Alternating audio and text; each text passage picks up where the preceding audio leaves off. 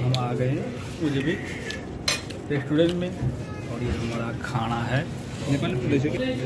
ये रहा पुलाव, यो रह्यो सुप, यो सलाद, पुलाव, यो चाहिँ कावा चिया अरूटी यो मासु जुरङको सप्लाव मलाई चाहिँ सबभन्दा बढी मनपर्ने सुप।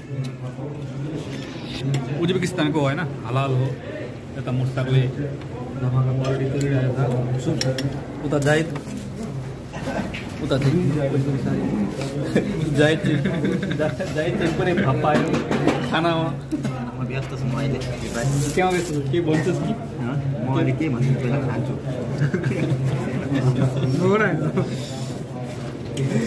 पायो छुको पायो यो जग्गा छ सिकान आउँछ प्रत्येक मान्छेहरू खाइरहेछ नि? होइन यता चाहिँ अब हाम्रो लाइभ चलिरहेछ हाम्रो यहाँ। ए चारवटा आँखा भएको मोबाइल ह्यान्डमा पनि छ। आइफोन नभए पनि।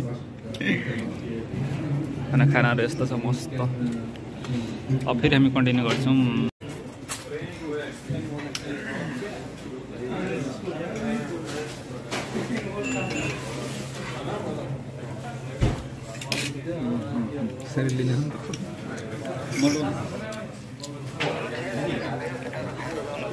ल अहिले गर्छु ठिकै छ नि